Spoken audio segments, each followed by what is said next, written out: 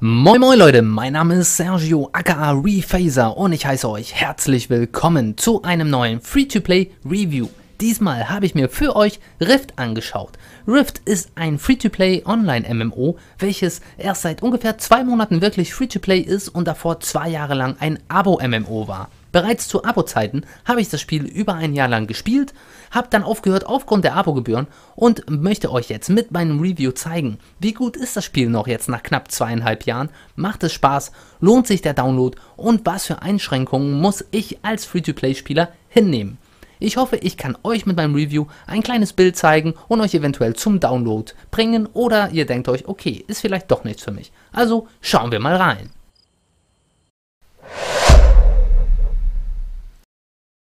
Die Story von Rift ist recht schnell erklärt und man merkt ein wenig das Alter des Spiels an, denn es kommt aus einem Jahr, wo World of Warcraft von vielen MMOs angegriffen wurde, welche alle sehr ähnlich vom Aufbau und ich sag mal vom Gesamtkonzept her waren. In Rift startet ihr in der Zukunft. Diese Zukunft ist vom Remodus komplett zerstört und von zwei Fraktionen, die sich gegenseitig bekriegt haben. Ihr als Auserwählte werdet wiederbelebt und versucht in die Vergangenheit zu, äh, geschickt zu werden, um dort irgendwie den Lauf der Zeit ändern zu können und die Welt zu retten. So viel sei zu der Story einfach nur gesagt. Ich will nicht viel mehr ausholen, da hole ich vielleicht ein bisschen zu viel aus den Quests und aus der eigentlichen Story raus. Die ist äh, eigentlich ganz gut in Szene gesetzt und ähm, wird nicht wirklich langweilig. Also wer auf Story steht in Online-Rollenspielen, was meistens wirklich ein guter, großer Teil davon ist, der wird bei Rift auf jeden Fall seinen Spaß haben.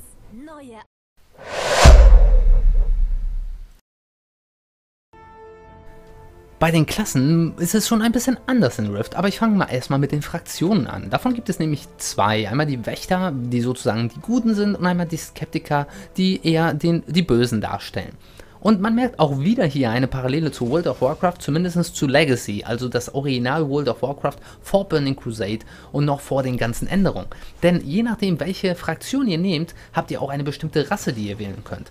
Nehmt ihr die Wächter, könnt ihr wählen zwischen Matosianer, was eigentlich die Menschen sind, zwischen den Hochelfen und den Zwergen. Wenn ihr einen äh, Eth einen äh, Kelari-Elfen oder die Bami, so raubtierartige Wesen, spielen wollt, müsst ihr die Skeptiker wiederum nehmen. Und was die Klassen angeht, da ist bei Rift, wie es so schon heißt, die Flexibilität einfach unglaublich groß. Also eigentlich habt ihr die Wahl zwischen vier Basisklassen, die auch bekannt sind. Ein Schurke, ein Krieger, ein Kleriker oder ein Magier. Jeder von diesen ja, Basisklassen hat aber selber noch acht Unterklassen. Die werden in Rift Seelen genannt.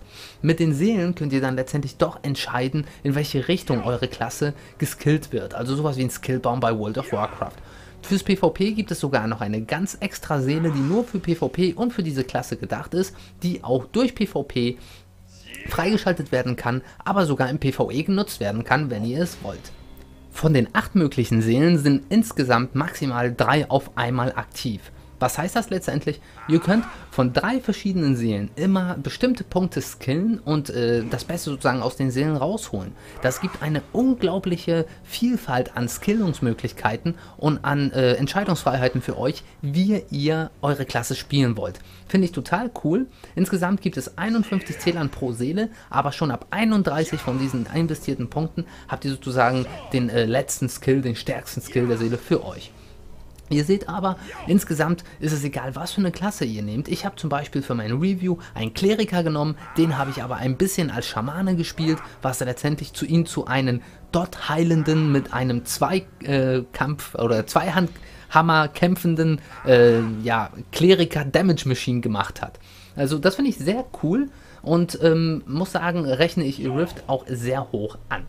Zu den Seelen bleibt dann noch zu sagen, dass ihr insgesamt vier Rollen machen könnt. Eine Rolle besteht immer aus drei verschiedenen Seelen und die könnt ihr euch abspeichern. Bedeutet, ihr könnt immer hin und her wechseln und schauen, okay, was möchte ich jetzt spielen? Auch besonders für Instanzen äh, sehr interessant, weil zum Beispiel könnt ihr dann als Kleriker sagen, ich gehe als Tank rein, ich gehe als Damage-Dealer rein oder ich gehe als Heiler rein. Ähm, eigentlich kann jede der Hauptklassen auch jede ähm, ja, Art von äh, Spieler sein. Das heißt, auch ein Schurke kann ein Heiler sein oder ein Tank. Ich muss sagen, zu meinen aktiven Zeiten war ich mit vielen Schurken unterwegs, die super Tanks waren. Sehr ungewohnt, wer diese klassische Rollenverteilung kennt, aber das hat äh, Rift ausgemacht damals und macht es heute immer noch.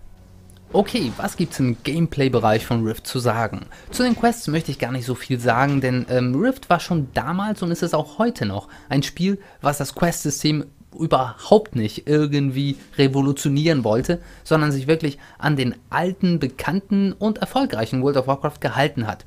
Was es zu den Quests eventuell zu sagen gibt, natürlich, geh hier hin, töte das, mach das, bring mir mal das, ähm, vielleicht verhörst du auch nochmal den und benutzt diesen oder den anderen Gegenstand, das kennt man alles, aber ihr solltet wirklich aufpassen, wenn ihr eine Quest auslasst, weil ihr sagt, okay, ich bin in diesem Gebiet schon sehr hoch, die will ich gar nicht machen, es gibt sehr, sehr viele Folgequests, das bedeutet Quests, die auf andere Quests aufbauen. Und so können euch ganze Handlungsstränge später fehlen und ihr, äh, oder ihr seid mit Kumpels unterwegs und sagt, ja, die Quest will ich auch machen und habt keine Ahnung, wo sie herkommt.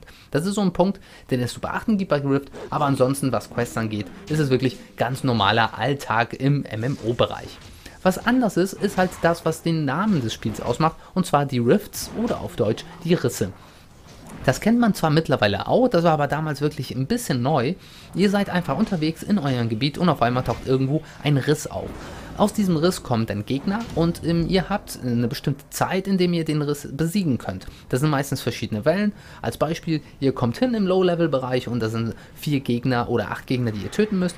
Tötet ihr diese acht Gegner, kommen neue Gegner dazu, die ein bisschen stärker sind und das Ganze steigert sich dann so, bis der sozusagen Endboss des äh, Rifts kommt und euch dann besiegt, beziehungsweise ihr ihn. Besiegt ihr ihn, wird der Rift geschlossen, ihr bekommt eine Belohnung und jeder andere Spieler, der da mitgemacht hat, auch. Also das Ganze wird ein bisschen nach dem geregelt, wie viel ihr für die Schließung des Rifts gemacht habt. Das ist immer auch ganz cool, weil ihr besonders durch diese äh, Rifts ähm, dazu mehr oder weniger gezwungen werdet, Gruppenspiel zu betreiben. Ihr müsst in keine Gruppe rein, ihr könnt einfach alle draufkloppen und ähm, jeder hat was davon. Und so finden sich auch ganz schnell viele Spieler an einem bestimmten Punkt der Karte. Aber ein normaler Rift ist noch nicht alles. Denn was schon damals sehr innovativ war, doch in diesem Bereich, war und ist immer noch die Tatsache, dass wenn ein Rift einfach so dagelassen wird, er wird immer größer. Das heißt, irgendwann fangen die Rift-Kreaturen auch an, NPCs zu, anzugreifen und ganze Städte platt zu machen. Es kann sein, dass ihr in ein Gebiet reinkommt, wo vielleicht jetzt seit 1, 2 Wochen wirklich keiner unterwegs war und keine Rifts platt gemacht hat und es ist so gut wie nichts mehr da und ihr müsst euch erstmal zurückkämpfen und die Rifts letztendlich schließen. Diese Rifts werden auch immer stärker, umso mehr Spieler dabei sind. Also passt sich das Ganze ein bisschen an der Gruppenstärke und an, an ich sag mal, an den äh, aktiven Spielern in den Gebieten an. Eine Sache gibt es aber noch zu den Quests zu sagen. Rift hat nämlich mit dem letzten Patch ein äh, sehr cooles Ding bekommen. Das nennt sich irgendwie Schnellquesten oder Schnellaufgaben. Wenn ihr das auswählt, das könnt ihr von überall aus der Welt auswählen, so ungefähr wie das PvP auch, dann kommt ihr direkt in einen instantierten Bereich mit einem Raid, das heißt mit anderen Spielern, die dort sich auch angemeldet haben und könnt damit eigentlich noch ein bisschen schneller leveln ähm, als mit den normalen Quests. Das ist vor allem für die Spieler gedacht, die schon High-Level-Chars haben und ein paar Level, äh, also beziehungsweise ein paar Charaktere nachleveln wollen. Für Spieleinsteiger wie mich, die das Spiel eigentlich schon kennen, ist das perfekt, weil ich damit schnell level, schnell meine Skills kennenlerne und auch die ein oder andere Quest mache. Ihr müsst euch das so, so vorstellen, ihr werdet dann in dem Gebiet, in dem ihr seid, einfach instanziert reingeschmissen und dann kommen eine Art ähm, ja, Events nach und nach, die ihr als Raid nach und nach abarbeitet. Das gibt euch Quests, EPs, Gegenstände und natürlich ganz, ganz, ganz schnell neue Levels. Also es ist eine richtig coole Sache, besonders wenn ihr nicht Lust habt von ganz C das Ganze hochzuleveln. Okay, ich habe mit den Quests sogar, sogar direkt angefangen, um mit den äh, Rifts. Wie sieht es aus mit der Steuerung? Das ist ein Punkt, den ich gerne, auf den ich gerne eingehe, besonders weil ich jemand bin, der nicht so auf diese altmodische WoW, ich klicke und nutze ein Skill-Steuerung steht, äh, sondern eher so ein bisschen mehr actiongeladene Steuerung, wo man mit der Maus selber die Schläge und das Blocken machen kann. Das ist bei Rift nicht der Fall. Rift ist wirklich ein Oldschool, sage ich mal, in Anführungsstrichen, äh, Online-Rollenspiel, der wirklich noch auf die alte, bekannte WoW-Steuerung aufbaut. Bedeutet, ihr habt viele verschiedene Skills und davon habt ihr wirklich eine Menge, dadurch, dass ihr verschiedene Skillbäume auch noch skillen könnt. Diese sind in euren Leisten. Ihr könnt mit einem Linksklick könnt ihr euren Gegner aussuchen oder mit Tab durchseppen und dann eure Skills nacheinander dann rauskloppen. Ist nichts Besonderes, funktioniert aber einwandfrei, da gibt es eigentlich nichts zu meckern. Es ist auch nicht so, dass sich das Ganze irgendwie hakelig oder altmodisch anfühlt. Es ist einfach ein anderes Spielgefühl als ein Dragon's Profit zum Beispiel, was nicht heißt, dass es ein schlechtes Spielgefühl ist. Der Gameplay-Bereich vom Rift bietet euch aber noch viel mehr als einfach nur stumpfes Questen.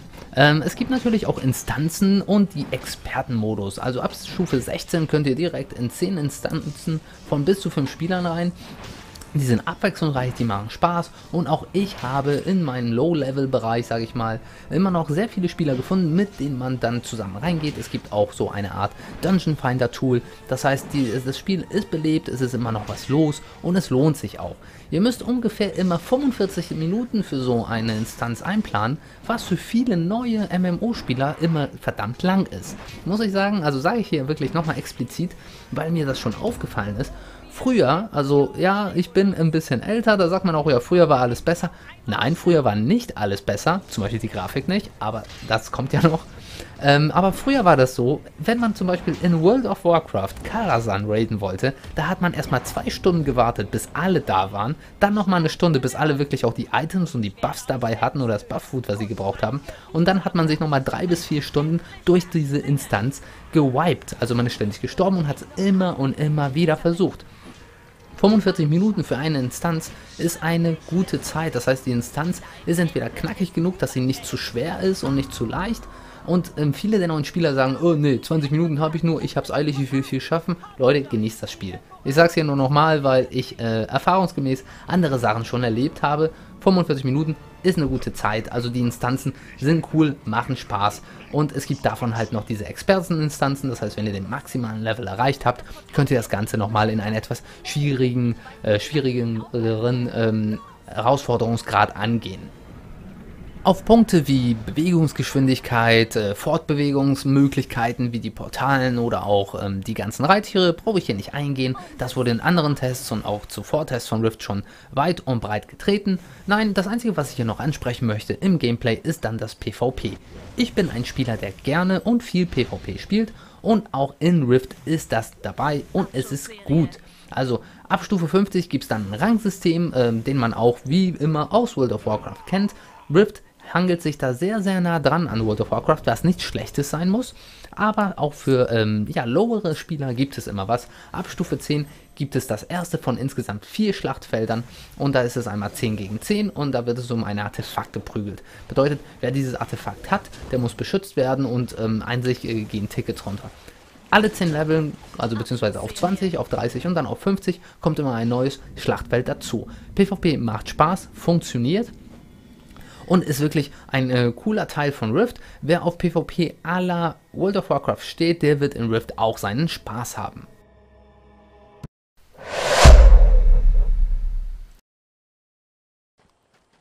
Okay, die Technik von Rift.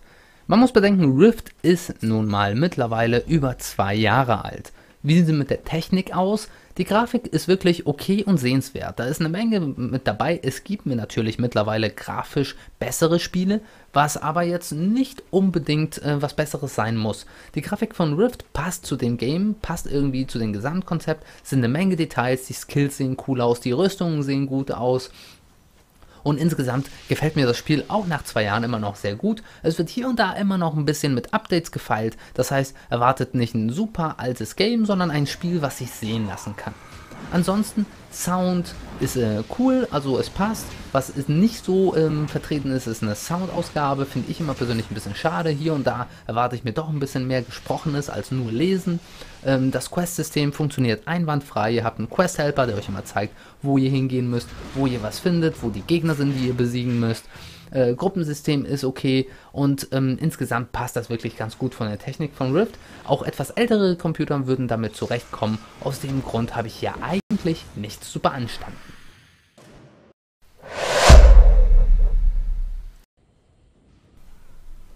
Die Free-to-Play-Einschränkungen. Ein Punkt, der den meisten MMOs wirklich das Genick bricht und besonders äh, MMOs, die aus Abo-Modellen kommt.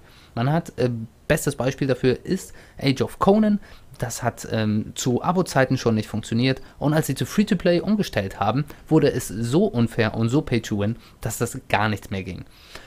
Rift geht da einen anderen Weg und ich muss sagen, von vornherein, Leute, das Spiel ist einfach nur fair erster Punkt, der wirklich zeigt, wie fair das Spiel ist. Vor äh, geraumer Zeit kam ja der ähm, ja äh, das Add-on Storm Legion für Rift raus. Als Free-to-Play-Spieler könnt ihr sämtliche Inhalte von Storm Legion trotzdem spielen, ohne einen Cent auszugeben. Nicht so wie zum Beispiel bei Star Wars The Old Republic, wo ihr zwar bis zum High-Level spielen könnt, ohne Geld wirklich auszugeben, aber dann im High-Level-Content äh, Schluss ist und die sagen, okay, wenn du jetzt noch weiterspielen willst, wenn du jetzt raiden willst, wenn du jetzt was machen willst, musst du zahlen. Rift macht das nicht. Rift sagt, Leute, Ihr wollt spielen, spielt es. Ihr wollt Geld ausgeben, wenn ihr Bock drauf habt, macht ihr das, aber ihr müsst es nicht. Und das ist wirklich so, denn äh, die haben sogar ein paar äh, Tricks eingebaut, womit ähm, ja, Hardcore-Spieler von Rift nicht benachteiligt werden zu Casual-Gamern, die einfach Geld ausgeben. Ihr könnt zwar in Item Shop neben den äh, typischen Kostümen und Boosts und Mounts und Begleiter und was weiß ich und Schriftrollen ähm, Kaufen könnt ihr auch wirklich Ausrüstungsgegenstände kaufen, auch für High Level, aber selbst die gekauften Ausrüstungsgegenstände sind nicht so gut wie die, die ihr aus dem Raid rausholt. Und aus dem Raid könnt ihr den nur rausholen, wenn ihr spielt. Also das könnt ihr euch auf keinen Fall kaufen und es gibt keine Vorteile, wenn ihr euch was kauft weil sämtliche Ausrüstungsgegenstände, die gekauft werden können im Shop für Echtgeld, können auch von euch durch Farmen gekauft werden oder für Gold gekauft werden, den ihr erfarmt. Das Einzige, was man sagen muss, ist wirklich, ihr braucht deutlich länger. Ihr müsst viel Zeit investieren. Das ist aber vollkommen okay und fair. Es gibt keinen Punkt, wo ich jetzt sagen würde, dafür müsst ihr jetzt Geld bezahlen. Klar, Leute, die immer noch Abo haben, das ist immer noch möglich, oder die mal Abonnenten waren oder aktive wie auch passive Abonnenten, heißt Leute, die zur Umstellung gar nicht mehr aktiv gespielt haben, die haben ein paar kleine Vorteile, die haben ein paar mehr ähm, ja, Taschen, die haben äh, ein bisschen Bonus auf bestimmte Shop-Währungen und ähnliches. Aber wenn ihr neu einsteigt, seid ihr eigentlich auf einem Level mit jedem anderen Spieler, der neu einsteigt oder der mal dafür bezahlt hat. Und ich finde, Rift hat in diesem Bereich wirklich alles super gemacht.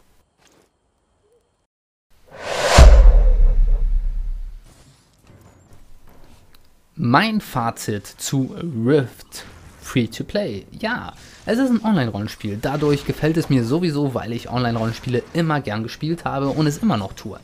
Rift ist nun mal zweieinhalb Jahre alt. Ist das schlimm? Nein. Ist das altmodisch? Eigentlich auch nicht. Es ist einfach nur so, dass mir die Steuerung persönlich zwar liegt, aber nicht das ist, was ich heutzutage von einem MMO erwarte. Das ist aber wirklich von Spieler zu Spieler unterschiedlich. Ich bin jemand, der steht auf actiongeladene Steuerung, wo ich viel selber direkt beeinflussen kann und wo meine, ich sag, meine Reaktionsfähigkeit vielleicht auch ein bisschen mehr gefragt ist. Rift ist ein guter WoW-ähnlicher ähm, MMO oder WoW-ähnliches MMO, Entschuldigung, ähm, der halt noch auf eine andere Art von Steuerung basiert, dafür dort aber wirklich alles bieten kann. Wenn ihr eure, ähm, allein eure Talentbäume so aufbaut, wie ihr es gerne wollt, dann äh, habt ihr so viele Skills, die ihr nutzen könnt, dass ihr wirklich alle Tasten der Tastatur zum Teil nutzen könntet.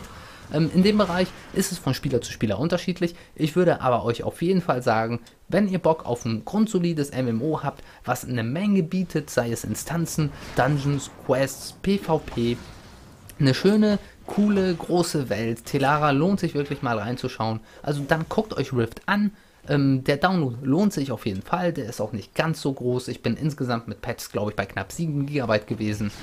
Und das Spiel ist immer noch brandaktuell, die Server sind voll und der Support ist wirklich immer noch da. Trotz der Free-to-Play-Umstellung wurden auch schon neue Patches, neue Content-Updates angekündigt. Also Leute, das war mein Free-to-Play-Review zu Rift. Ich hoffe, ich konnte euch einen kleinen Einblick in das Spiel geben. Freue mich, wenn ihr mir den einen oder anderen Kommentar da lässt. Ihr könnt mir auch gerne mal einfach schreiben, was ich mir als nächstes mal anschauen soll. Und wir sehen uns dann hoffentlich in meinem nächsten Video. Und ich sag mal, ciao, ich bin dann mal raus.